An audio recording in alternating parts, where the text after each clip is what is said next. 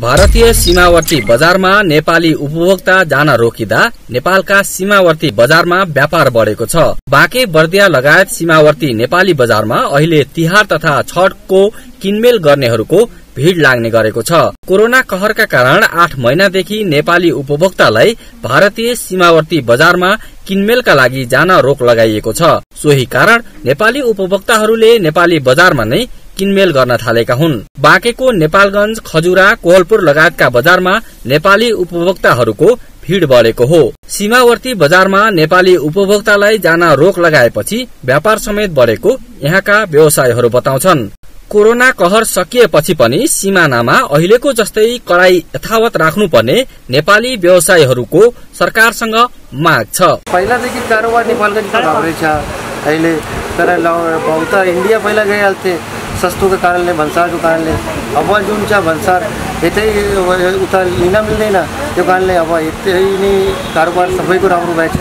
मगर अगर यो आउँदाखेरि पनि यस्तै रह्यो भने व्यापार राम्रो हुन्छ फेरि बोर्डर खुल्यो भने फेरि त्यस्तै भइहाल्छ भने मात्रै आवत जावत गर्न दिने सामान लिन नदिने त्यस्तो गरेपछि राम्रो हुन्छ राम्रै छ हजुर लकडाउन हुनुपर्छ बार्डर बन्दै हुनुपर्छ त्यही बार्डर खुल्ला राखे पनि बिरामीको चाप पनि बढ्छ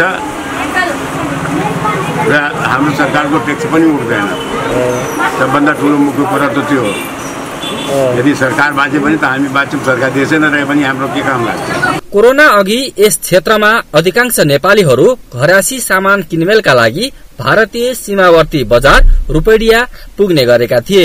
चाडपर्वको बेला भारतीय सीमावर्ती बजारहरूमा नेपाली उपभोक्ताहरूले भरिदा नेपाली बजार भने सुनसान हुन्थे। यसपटक भने नेपाली सीमावर्ती बजारमा नेपाली उपभोक्ताको भीड़ लाग्दा भारतीय सीमावर्ती बजारहरू भने सुनसान छन् नेपालगंज उद्योग वाणिज्य संघका अध्यक्ष अब्दुल वाहिद मनसुरी चुन्नाले स्थानीय उपभोक्ताहरू स्थानीय बजारमा नै रोकिएकोले व्यवसाय बढेको बताउनुभयो। अहिले चाहिँ यहाँको लघु उद्यमहरू जति छ त्यसको व्यापार बढेको छ यहाँको सानोतिनो घरेलु उद्योग छ तिनीहरूको व्यापार बढेको छ यहाँको ठुलो उद्योगहरू छन् तिनीहरूको व्यापार बढेको छ र उनीहरूको व्यापार बढ्ने कारण के हो यहाँको नेपालको उपभोक्ताहरूले नेपालीमा सामान किनिरहेका छन्।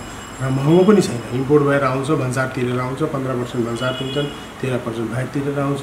त्यो अनुसार यहाँ महँगो पनि छैन र खुसी खुसी सबैले यहाँ किनिरहेको अवस्था छ।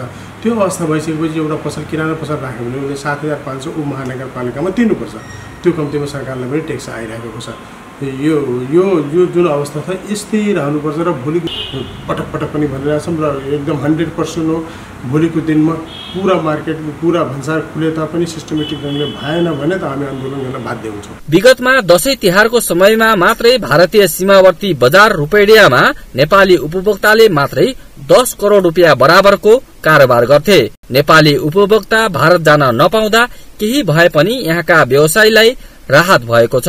कोरोनाले ढिलै भए पनि सीमावर्ती नेपाली व्यवसायीहरूको माग त पूरा गरिदिएको छ नै राज्यको खातामा राजस्व समेत बढ़ेको छ। कोरोना कहर पछि पनि भारतीय सीमावर्ती बजारमा नेपाली उपभोक्ता जान रोक्न सके नेपाली व्यवसायका साथै मुलुकका लागि समेत फाइदा हुनेछ। नेपालगंजबाट एबीसी रिपोर्टर कृष्ण ओलीको रिपोर्ट।